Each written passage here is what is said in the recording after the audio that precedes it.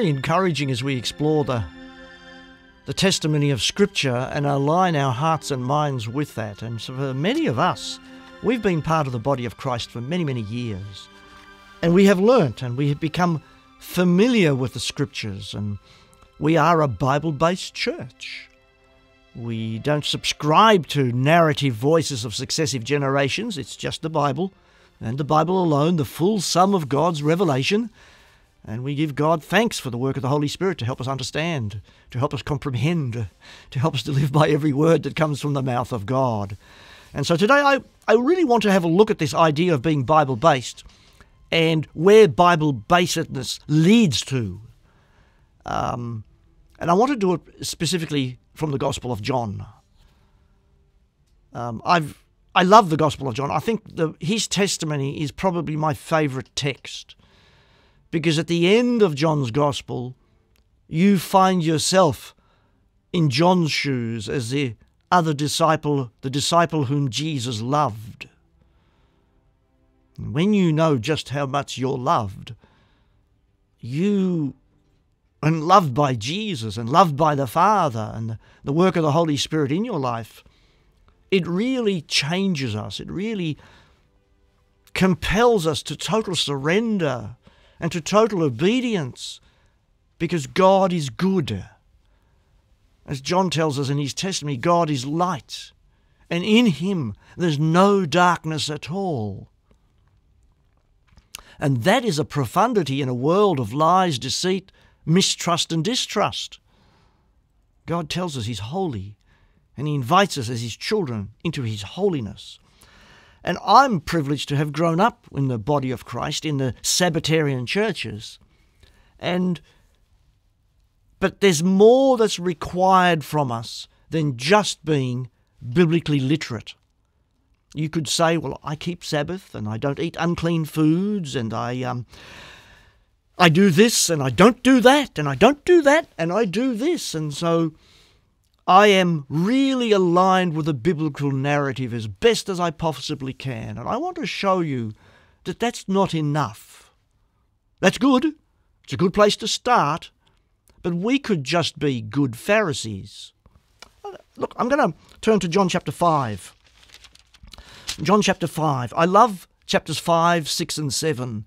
Um, I love all of John. But in John chapter 5, we, we come down to a conversation between Jesus and the, and the Pharisees, the Jewish leaders of the day. And he's really speaking into them and their incapacity to see the Son of God. You know, John says that Jesus came into the world, and though the world was made was made through him, the world did not know him. He came to his own, his own people, the Hebrew people, and they didn't know him. But those who did receive him and believed in his name, he gave the right to become children of God. So Jesus is speaking to them, and he says to the religious leaders, now remember, the oracles of God has been entrusted to the Hebrew people. They read the scriptures every day. And he says, You do not have his word abiding in you, for you do not believe in the one whom he sent. So the Heavenly Father sent Jesus Christ into the world 2,000 years ago, and the custodians and those scribes who transmitted the scriptures letter by letter, very Pharisaically, in that sense, to use that word, when God sent his Son into the world, they didn't recognize him. In fact, they said, You're doing all these miracles by Beelzebub the power of the devil. Do you remember that in the scripture? So Jesus says in John chapter 5, verse 38, You don't have his word abiding in you, for you do not believe in the one he has sent. Now, the next couple of verses are ones that really hit me about 20, 25 years ago. I'll tell you why. He says to them, You search the scriptures because you think that in them you have eternal life. Well, Ever since a boy, my dad ensured that I read the Bible regularly. Um, and the scriptures have been with me ever since I've been about five or six years of age. And I remember haughtily coming to church in the early 90s thinking, I bet you I can preempt every scripture the pastor's going to turn to today once I know his subject. Because it's nice to be biblically literate. It's nice to be able to quote the scripture off the top of your heart and top of your head. Those Pharisees could. He says, You search the scriptures because you think in them you have eternal life. It is they that bear witness about me. Now, what scriptures was he talking about? The Torah, the Psalms, the prophets. Yet you refuse to come to me that you may have life. Where those Pharisees failed is they could not see Jesus. They could not see the Lord born of the Virgin Mary by the Holy Spirit. And he came to his own, and they didn't recognize him. The first question that I have do you recognize Jesus? Do you recognize his signature all through the Old Testament? Thus saith the Lord. I want to explore that because for me, I remember going to a wedding many years ago and I'll tell you where I came from as a bit of a sad confession growing up in the Sabbatarian church. A lovely, some friends of mine were getting married, and the pastor there at the wedding ceremony said, This is not just a marriage between two people. The Lord Jesus Christ has to be the centre of this marriage. And I remember thinking, Well, what's Jesus got to do with it? It was just a, a benign thought that crossed my mind, like this is a marriage between two people. Why create the triumvirate image as a part of that relationship? I had a lot of learning to go, and that was a point on which I began to look at those scriptures very closely. I remember saying to my dad many years ago, Dad, Apostle Paul talks about Jesus all the time, but we don't talk about it very much in our church. He said, Oh, John, he said, it was because it was fresh in their minds back then. Okay, as a nine year old boy, that was sufficient for me. Okay, we progress through John chapter 6 and we see that Jesus feeds 5,000 people miraculously. And the word of Jesus spread, and they chase him across the Sea of Galilee to the other side. And, and the whole narrative of John chapter 6 stems from that, where they're pursuing him. And Jesus says in John chapter 6, verse 27, Don't work for the food that perishes, but for the food that endures to eternal life, which the Son of Man will give to you. In other words, you tasted some really good bread. And on the notion of that, you think, wow, do it again, Jesus, so to speak. And so this creates an opportunity for conversation. Then they said to him, in verse 28 of John chapter 6, What must we do to be doing the works of God? That's a very good question. So you keep Sabbath and you don't eat unclean foods and you honour and worship God in the way that He he makes it very clear in scriptures. And you say, so what do we do? What do we do to do the works of God? How do we manage this? How do we step into that space? That's a very good question. Jesus answered them, This is the work of God, that you believe in him who he has sent.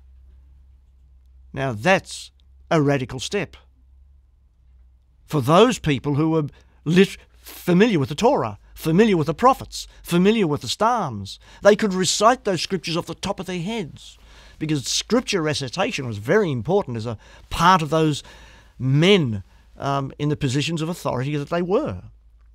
That's the work of God that you believe in Him who He sent. And of course, then they're asking Him to perform another sign. And the idea of the sign was you created bread to eat, can you do it again? It's amazing how the human heart and the human mind likes to be titillated by manifestation of the miraculous or the magical, so to speak. And Jesus reminds them then of the bread that a former generation ate. The bread that they ate in the wilderness for 40 years, manna. And Jesus said to them, Truly it was not I say to you in verse 32, it was not Moses who gave you bread from heaven, but my Father gives you the true bread from heaven. And so at the Lord's Supper, we took a little piece of unleavened bread. And whoever facilitated over it broke the bread, prayed over it, asked God's blessing, and remembered Jesus' words Take, eat, this is my body, which is broken for you, a little piece of unleavened bread. Verse 33 For the bread of God is he who comes down from heaven and gives life to the world. And they said to him in verse 34, Sir, give us this bread always. This reminds me of the Samaritan woman in John chapter 4, I think it is. She said, Give me of this water that I don't ever have to thirst again. In his conversation with her. And Jesus says to them in verse 35, I am the bread of life. Whoever comes to me shall not hunger, and whoever believes in me shall never thirst. He's speaking to people who searched the scriptures diligently in order that they could have eternal life. And Jesus said, Those are the scriptures that speak of me. But you refuse to come to me that you may have life, eternal life. But I said to you that you have seen me, and yet do not believe. All that the Father gives me will come to me, and whoever comes to me, I will never cast out. Brothers and sisters, that's a very powerful promise by Jesus of the Father's calling and the role how Jesus responds in choosing and equipping and mentoring us. But then again, the equation is many are called and few are chosen. It's a miracle that you and I share in fellowship now, immersed in God's Word as a Bible Bible based church and a Christ centered church and a Spirit led church for the glory of our Father in heaven. For I have come down from heaven, not to do my own will, but the will of him who sent me. So all of those scriptures, even the, the nature of the manna for 40 years, has Jesus' signature all about it.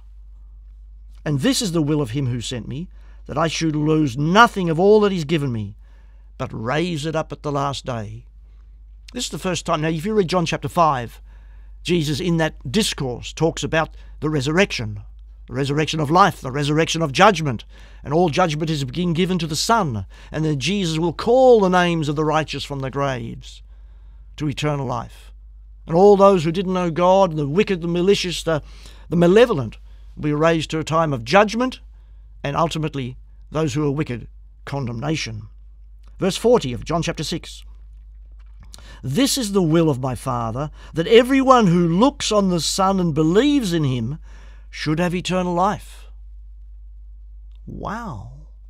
So the first question that I ask is Are you looking to the Son, the personified Logos of truth?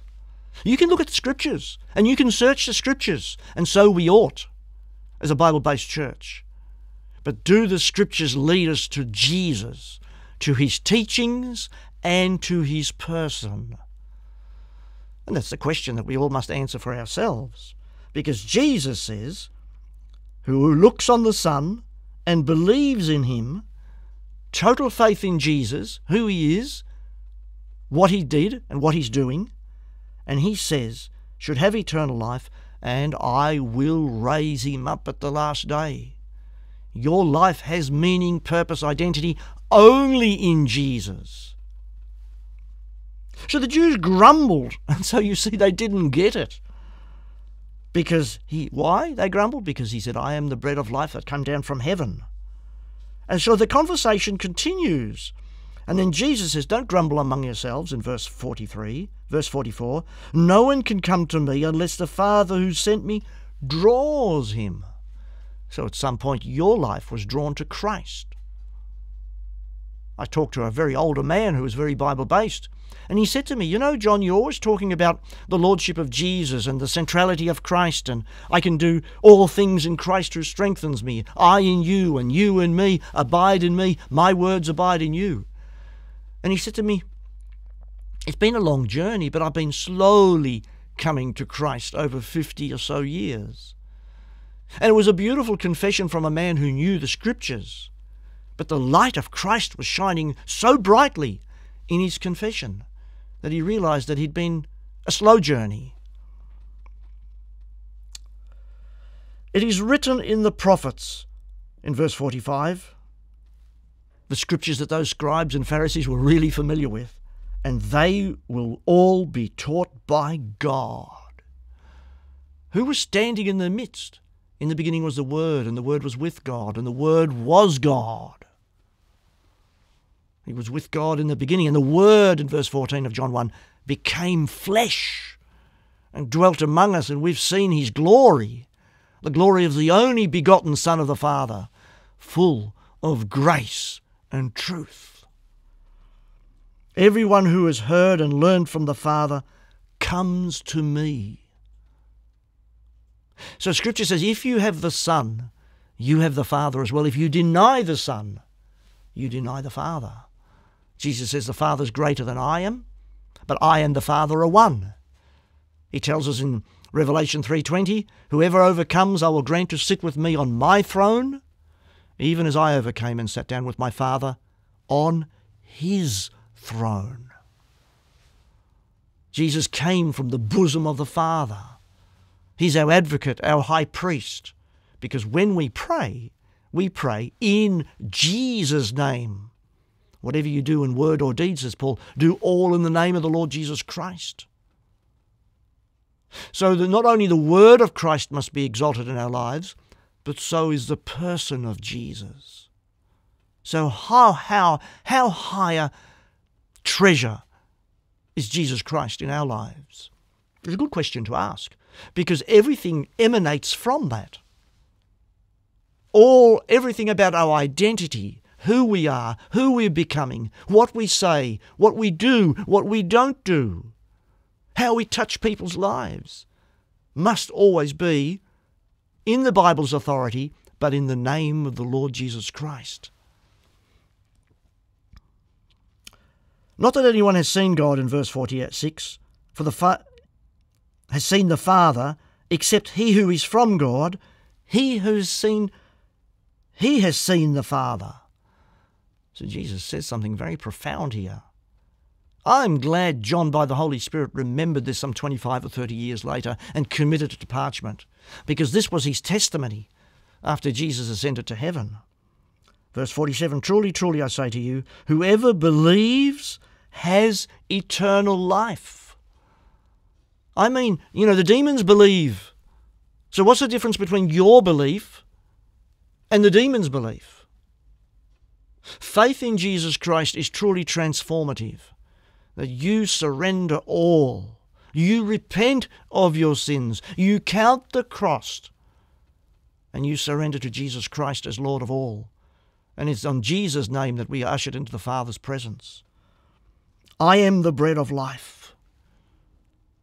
So this year, when we partook of that piece of unleavened bread and thoughtfully imbibed it, Jesus says, Whoever eats this bread will live forever. He says, Your fathers ate manna in the wilderness and died. Yes, they were eating a food that was provided miraculously on a physical level. He says, This is the bread that comes down from heaven, so that one may eat of it and not die. Do you want to live forever? Those of us who are not baptized, who are sitting on the fence or warming up to the idea, the most urgent thing that we could have on our agenda is Jesus I surrender. I repent. To the best of my knowledge, I count the cost of following you, obeying you, loving you to the glory of the Father in heaven. Because I want to live. And I get the idea from Scripture that we are God's children and God is having family. I am the living bread that came down from heaven. If anyone eats of this bread, he will live forever. Right through chapter 5 and chapter 6, there's the idea of resurrection to life, eternal life. And Jesus says the only way to eternal life is through himself, and that we are to abide in Christ, and his word abide in us, to remain in us. If anyone eats of this bread, he will live forever, and bread that I give for the life of the world is my flesh. And 2,000 years ago, Jesus gave his life his broken, suffered body, to absorb into himself the sins of the world, that we could be reconciled through him to our Heavenly Father. So the Jews disputed among themselves, saying, How can this man give us his flesh to eat? It's almost like Nicodemus saying, How can I enter into my mother's womb a second time to be born again? We must listen very carefully to what Jesus is saying. So Jesus said to them, Truly, truly, I say to you, unless you eat the flesh of the Son of Man and drink his blood, you have no life in you. That is a startling statement. That's why baptism is so important, the most important decision that you'll publicly make. So, what's your confession? Are you willing to do that? To publicly confess that Jesus is Lord of your life and to ongo doing it? Because every year when we proclaim the memorial of his death, we proclaim it until he comes to the marriage supper of the Lamb when the, what he began will reach its ultimate consummation. And we will forever be with the Lord. Whoever feeds on my flesh and drinks my blood has eternal life. And here comes Jesus' promise yet again, and I will raise him up at the last day. For my flesh is true food, and my blood is true drink. He says it again Whoever feeds on my flesh and drinks my blood abides in me, and I in him. You are, as Apostle Paul says, a new creation in Christ.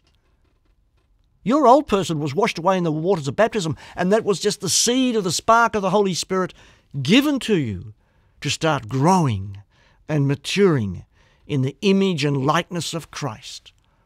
And Jesus reflects, as an image bearer, our Heavenly Father. As the living Father sent me in verse 57, and I live because of the Father, so whoever feeds on me, he will also live because of me. You and I have life in Christ. So we search those scriptures that we may have eternal life. And all those scriptures speak of the Lord Jesus Christ. This is the bread that came down from heaven, not like the bread your fathers ate and died. Whoever feeds on this bread will live forever. So you can abide by the teachings of Scripture. You can even abide by the teachings of Jesus. But then we are called to even a higher level to be in Christ and Christ in us. That we are the hands and eyes and ears and heart of the bodily resurrected Christ manifest in the flesh on a very deep and powerful and personal level. And so there's certain questions that we can ask. Am I abiding in Christ? I listen very carefully to conversations when new people come to church. And I love the when I understand that they know who their Lord and Saviour is. It's very powerful. Others come into church fellowship, you never mention, heard the name Jesus mentioned on their lips. Have you publicly confessed that Jesus Christ is your Lord? And that your identity stems from Him and His Word and His life and His sacrifice? Becomes very personal. It's not just a platonic proposition. It's who I am, it's who we are, it's who we are collectively. Do you find it a hard saying? Because Jesus had lots of disciples 120, 70 at that time. When many of his disciples heard it, they said, This is a hard saying. Who can listen to it? The book of Hebrews says, Don't harden your hearts, like the ancient Israelites did. So people were grumbling. They didn't get it. They thought it was too simple abiding in Christ, eating the bread of life. He says in verse 61 Do you take offence at this?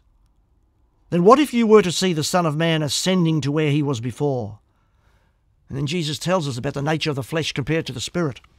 It is the Spirit who gives life, the flesh is no help at all. If you remain in the flesh, even though you could be Bible believing, unless you have the Holy Spirit and Christ dwelling in you, you have no life. The words that I've spoken to you are spirit and life. But there are some among you who don't believe. And in verse 66, he says, After this, many of his disciples turned back and no longer walked with him. What a tragedy! That breaks my heart.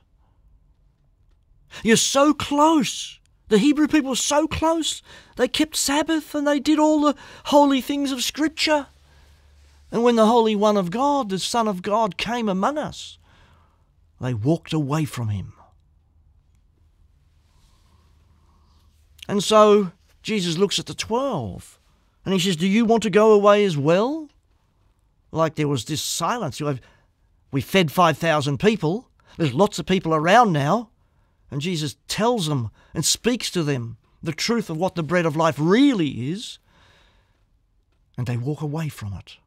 They were happy with the physical bread, but the Son of God is the bread of life. They walked away from it. And that worries me. Because the risk factor and the attrition factor can affect us as well. And I have seen people walk away from the Son of God, yet still hold Bible based beliefs. So Peter says, and I like Peter, he puts his hand up, his voice pops up all the time. He says, Lord, to whom shall we go? And I want to think about your response as we wrap up now. He, Peter says, You have the words of eternal life. And I'm going, Amen. Somebody gets it. And we have believed and have come to know that you are the Holy One of God.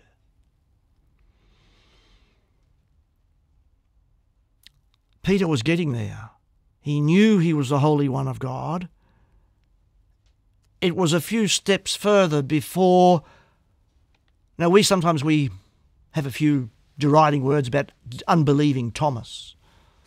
But Thomas took Peter's confession even further. My Lord and my God! cried out Thomas when he saw the wounds in Jesus' hands and his side. So Peter was on the way to understanding. Thomas still didn't get it then, but he stayed with it. And when Jesus was resurrected, the scales fell from his eyes as well. I want to leave you with a question Where are you in your covenant relationship with the Lord Jesus Christ? Because we have almost a year now until the next Lord's Supper to think and meditate and pray and repent. May we, for the rest of the year, feed on the bread of life as well, meditate on His Word, and come before our Heavenly Father dressed in the righteousness of Jesus Christ. And so we pray in the name of the Lord Jesus Christ. Amen and Alleluia.